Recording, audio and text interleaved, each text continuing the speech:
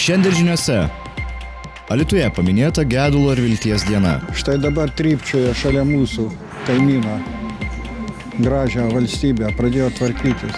Lygiai tas pats marazmas, lygiai tas pats groboniškas, lygiai tas pats žudimas, daužimas, laisvės atėmimas. Lygiai viskas tas pats.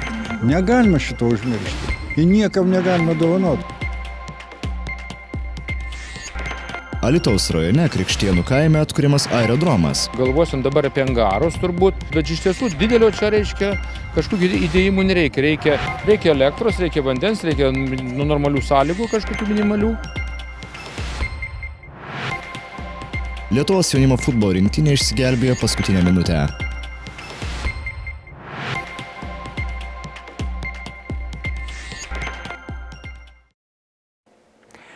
Labas vakaras, su jumis Zukijos televizijos žinios ir aš, Tomas Pukiais. Pradėkime žinias.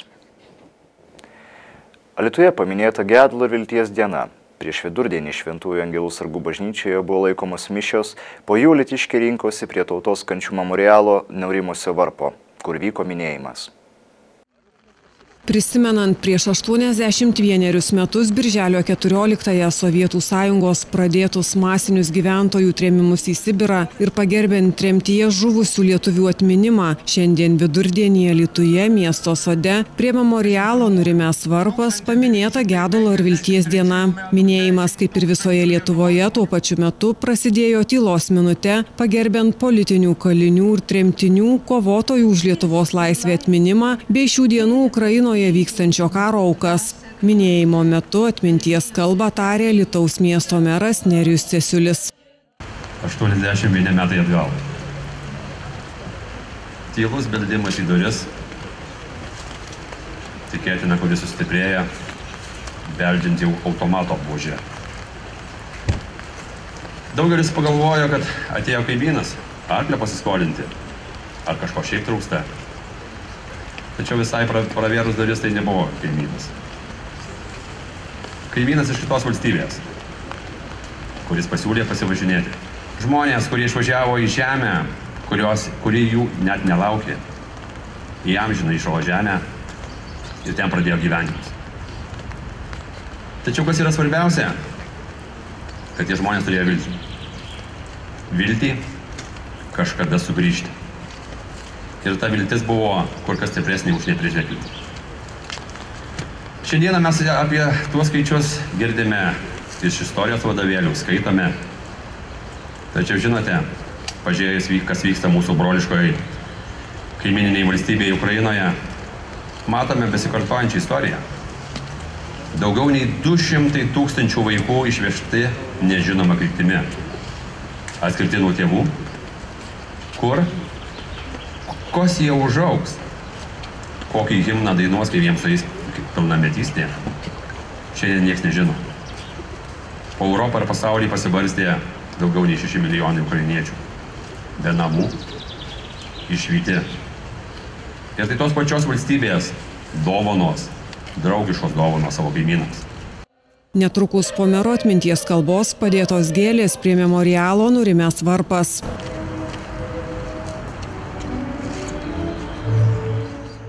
Paminėti skaudžią istorinę datą susirinko būrys miestelėnų. Tremtis palėtė ir nemažos dalies, ypač vyresnio amžiaus alitiškių šeimas, kurioms teko patirti tremties baisumus, o juos ištverti padėjo tikėjimas ir viltis, kad sugrįš į tėvynę. Taip sako skaudžiais prisiminimais pasidalinti sutikę kalbinti miestelėnai, kuriems teko patirti sunkius išbandymus ir artimųjų netektis.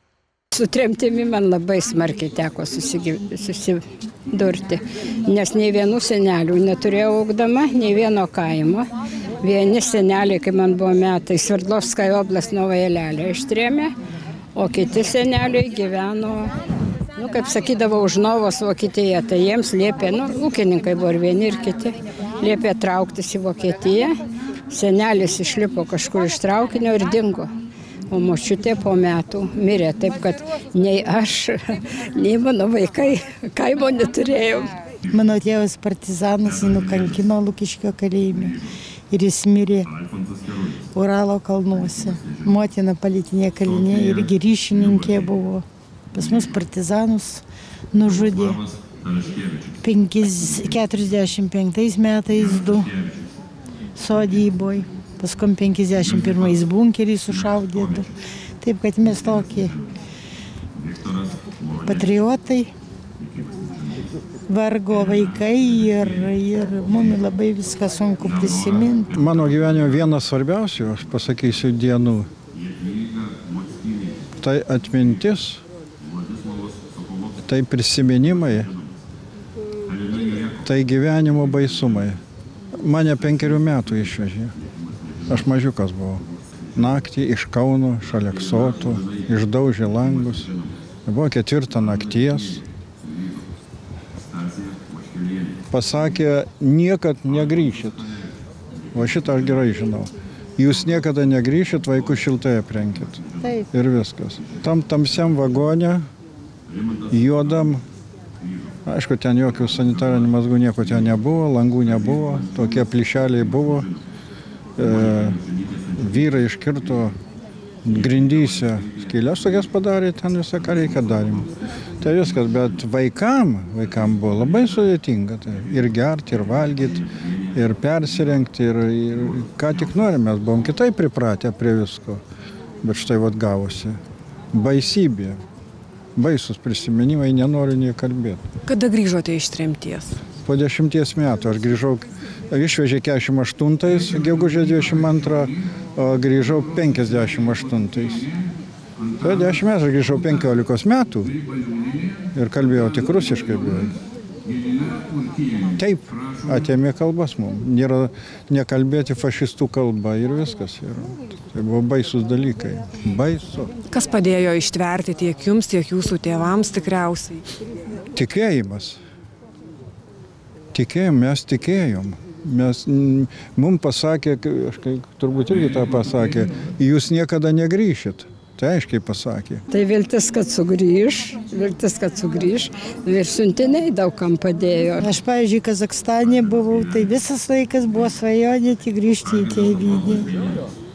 Ir sapnuosi, ir dainos, ir viskas.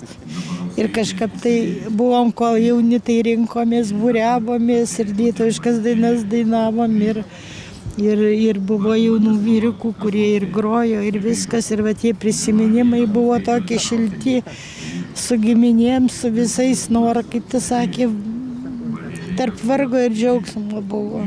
Štai dabar trypčioje šalia mūsų kaimyną gražią valstybę, pradėjo tvarkytis. Lygiai tas pats marazmas, lygiai tas pats groboniškas, lygiai tas pats žudimas, daužimas, laisvės atėmimas. Lygiai viskas tas pats. Negalima šito užmiršti. Ir niekam negalima dovanoti už tai. Gedulo ir vilties dienos minėjimo metu skambėjo Emilijos Krušinienės poezija, taip pat Adolfo Romanausko Vanago gimnazijos mokinių bei Lietuvos politinių kalinių ir tremtinių sąjungos choro atmintis atliekamos dainos apie tremtį. Minint Gedulo ir vilties dieną taip pat vyko tradicinė tremtinių ir politinių kalinių atminimo ir pagerbimo akcija Ištark, išgirsk, išsaugok, kurios metu visoje šalyje buvo skaitomi tremtinių vardai. Grįžo. Vladislavas Vrublevskis. Likimas nežinomas. Altos rajone naujam gyvenim bus prikeltas aerodromas, kuriame dar sovietiniais laikais kilo ir leidus lėktuvai, barsantis kolūkių laukose trašas. Altos rajono savivaldybės meras Algitas Vrubliauskas, sutikęs su mažųjų lėktuvų pilotais, aptarė aerodromo atkūrimo ir panaudojimo ultralengvųjų orlaivių aviacijai galimybės. Aerodromą ketinama atkurti netoli Krokio laukio esančiame Krekštienų kaime. Aerodromu naudotis galės mažieji orlaiviai. Susitikime su aviatoriais skrydį ultralengvuoju lėktuvu išbandė ir Alitaus rajono meras Algirdas Vrubliauskas. Ultralengvuoju lėktuvu tikrai nebuvau skridęs. Va, tai, bet emocijos labai geros. Tikrai va, vėsgi visai nemažas, bet, bet vaizdas labai gražus iš viršaus. Dabar tas visas žalumas ir palo, patyręs pilotas jautiesi užtikrintai. Net, sako, net pavairuodavė, tai, tai iš pradžių taip nedrasu, paskui ta rankenėlė tokia, žinot, iš kur reikėtų įgust. Bet visai įdomu. Ir aš kaip pamatau, vyrai, kurie čia yra ir jaunų, bet yra ir tokie pagyveni, ir už mane vyresni. Ir jie čia skraido ir dar net nesiruošia, kaip sakant, sudėti ginklų, dar jie čia nori skraidyti ir skraidyti. Tai žodžiu, tai reiškia, kad na, ilgai galima ore būti, ne vien čia ypatingų fizinių duomenų reikia, ne vien jaunas, bet ir pagyvenęs žmogus gali skristi ir dauguma čia tokių, tai žodžiu, labai įdomu. Dviese skristi dažniausiai yra, va čia yra tik meras perskrido su mm, svečiu iš, iš, iš pociūnų, iš, e, su keturviečiu, jo paties gamybos lėktuvas. Yra ir daug metų su juo skraido, sako, labai patikimas ir tekė skristi kartu su juo. Tikrai e, visiems rekomenduočiau pasiprašyti ir su juo paskristi. Aerodromo Krekštienų kaime atkūrimo idėja buvo svarstoma kelis metus. Į aviatorių poreikius atsižvelgia Lietuvos rajono savivaldybės vadovai. Čia viskas prasidėjo mūsų kalbėjimais prieš 3,5-4 metai. Nu, tokie e, bandymai kalbėtis, ar nebūtų galima atgaivinti. Ar, na. Ir dabar va, šiais metais taip toks netikėtas posūkis, kad atsigręžta į aviatorių poreikius. Čia daug, e, pagrindas čia kol kas dabar sudarysime e, šitų ultralengvų lėktuvėlių savininkai, bet yra daugiau tokių užmanimų, kur kas galėtų būti. Priklausys viskas taip, kaip rajono vadovybės požiūrį požiūris, kaip, kaip jie vertina. O šiandien tai buvo toks susitikimas, susipažinti visiems, e, dabar pasklis ir ne tik po Lytų, bet ir, ir, ir, ir Lietuvoje, kad va štai atgaivinamas sen, senas, anksčiau vadintas chemikų aerodromas. Taip, kad čia mes dar nesirinkam.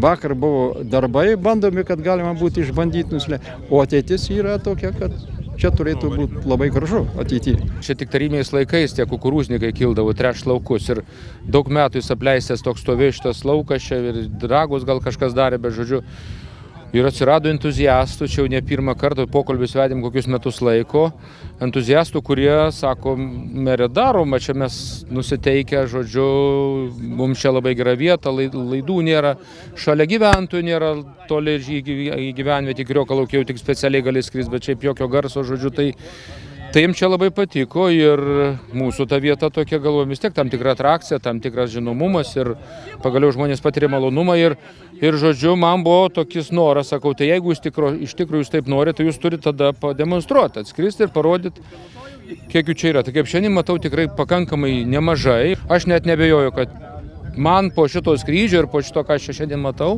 aš tikiu, kad tas aerodromas atgims iš naujo. Žemės sklype, kuriame nuspręsta atkurti aerodromą mažiesiems orlaiviams, Alitaus rajono savivaldybė jau sutvarkė seną į lėktuvų kilimo ir tūpimo taką, taip pat planuojama įrengti ir kitą reikalingą infrastruktūrą galvosim dabar apie angarus turbūt, ateina europinių lėšų tam tikra dalis, bet iš tiesų didelio čia reiškia kažkokių įdėjimų nereikia. Reikia, reikia elektros, reikia vandens, reikia nu, normalių sąlygų kažkokių minimalių.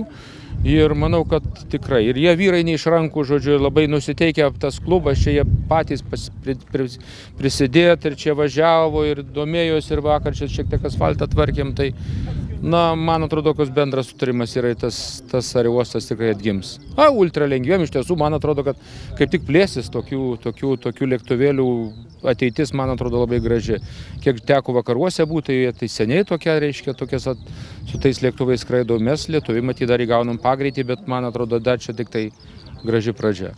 Pasak Dzukijos aeroklubo vienijančio lengvųjų lėktuvų savininkus vadovo Adolfo Klastaičio, pastatytas angaras išspręstų lėktuvų laikymo vietos problemą. Nėra kur, neturime takų jokių, tiesiog visi angaruose, garažuose, visur, kur yra išardyti, jau čia per vieną dieną, nu toks, kol kas angaro nėra, meras lyg ir žada, kad bus, reiks, tai bus, tai mes tikimės ir, ir tada nereikės mums laikyti jų, žinot, žiemą išardyti, pavasarį vėl sudėti, tiesiog e, iš sezono į sezoną galėsime, jeigu bus gražus e, pietų Lietuvos e, dangus. Kuo daugiau tokių vietų, nesvarbu, kur tu ten nusileisi, e, svarbu iš kur pakilti ir kur nusileisti ir, ir atgal, kad turėtum tą ryšį. Tai taip, kad jeigu ir alytui bus nuspręsta, kad vis tik tai kažką reikia palikti, tai tikrai reikia sveikinti ir, ir mesti į viršų tuos, kurie taip nuspręst iš džiaugsmo. Reiškia, tai aš manau, kad lauksim ir ten, kad kas nors bus geresnės perspektyvos. Dzukijos aeroklubas vienyje apie 20 ultralengvųjų lėktuvų savininkų.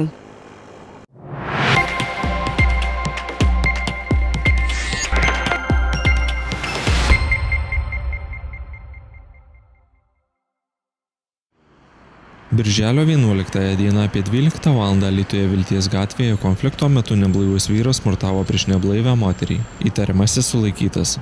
Birželio 11 dieną apie 22 val. Lietuvoje Vilties gatvėje pas vyrą rasta du folijos paketai su įtariama augalinės kilmės narkotinė medžiaga. Įvykis tyrimas. Birželio 11 dieną apie 11 val. Lietuvoje Volungės gatvėje į namus atėjęs nenustatytos tapatybės asmo prisistatė pareigūnų ir pasėmė moters banko kortelę ir prisijungimo duomenis. Nuostolis 2000 eurų. Birželio 11 dieną apie 20 val. Druskininkų savivaldybėje jo vaišų kaime patikrinus automobilį Toyota paaiškėjo, kad jį vairavo neblaivi moteris. Įvykis tyrimas. Birželio 11 dieną apie 11 val. Prienų rajone Veiverių miestelėje vyras vairuodamas automobilį Mercedes-Benz nepėsčiųjų perėjoje partrenkė į kelio važiuojamą dalį išėjusį neblaivų vyrą. Įvykis tyriamas.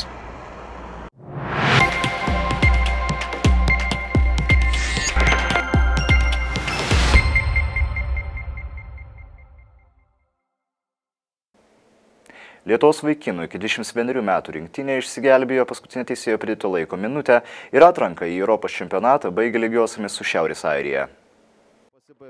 Lietuvos vaikinų iki 21 metų rinktinė užbaigė savo kovas atrankoje į kitų metų Europos vaikinų čempionatą. Mariaus Tankievičiaus treniruojamoje komandoje buvo ir du lytiškiai - Gustas Jarusevičius ir Gustas Zabita, kuriems per šias rungtynes neteko pasižymėti. Rungtynių pradžioje prabėgus kiek daugiau nei 15 minučių Lietuvos rinktinės gynėjai širkščiai suklydo, o tuo pasinaudojęs Dale Tayloro 17 minutę išvedė Šiaurės Airiją į priekį. Praleidę įvartį šeimininkai šiek tiek sutriko ir turėjo atlaikyti Šiaurės Airijos rinktinės atakų virtinę kairiųjų kraštų. Tiesa, nuo jų apsiginti pavyko. Džiaugsmo banga Lietuvoje susirinkusiems aistruoliams sukėlė Artemijus Tutiškinas. Šeštąją pridėtą laiko minutę Lietuvos rinktinės futbolininkai turėjo standartinę situaciją, po kurios kamuolys patogiai nukrito po gynėjo kojomis, o galiausiai skriejo ir į vartus. Šiaurės Airija ir Lietuva be tarpusavio lygiųjų atrankos į Europos čempionatą C grupėje laimėjo po du susitikimus, po penkis pralaimėjo ir surinkusios po septynis taškus pasidalino trečią ir ketvirtą vietas. Grupę laimėjo visas rungtynes laimėjusi Ispanija.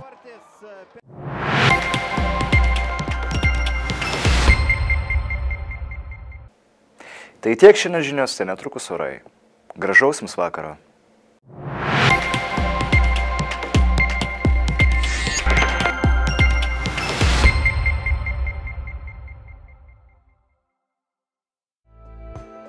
Trečiadienio naktį slėgis ims aukti, debesys noriai sklaidysis. Pirmoje nakties pusėje dar kai kur truputį palis. Dieną vyraus nepastovus debesuotumas. Pirmą dienos pusė dar bus sausesnė, o jau nuo pietų per daugelį vietovių vėl praslinks trumpas ir negausus lietus. Artimiausią naktį Alituje termometrai rodys 10, Kaune ir Vilniuje 11, Klaipėdoje 13 laipsnių šilumos. Trečiadienio dieną Lietuvoje bus 20, Kaune 22, Vilniuje 21, Klaipėdoje 19 laipsnių šilumos.